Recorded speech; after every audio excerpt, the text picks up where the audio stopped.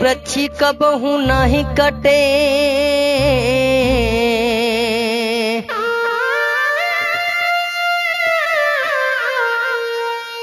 टेड़ी वृक्ष कबहू नहीं कटे।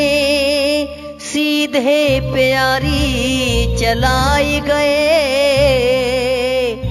शेर शिकार कोई नहीं करे। बकरन के गले कटाए गए। हे भगवान, सीधे वृक्ष को तो हर कोई काट लेता है, लेकिन टेढ़े वृक्ष को कोई नहीं काटता। जैसे शेर कितना उल्टा होता है, कितना खराब होता है, और बकरी बकरे जैसे सीधे होते हैं, इनको काट दिया जाता है, शेर को कोई नहीं काट के खाता है। प्राचीन गिरी थी यही प्रकटी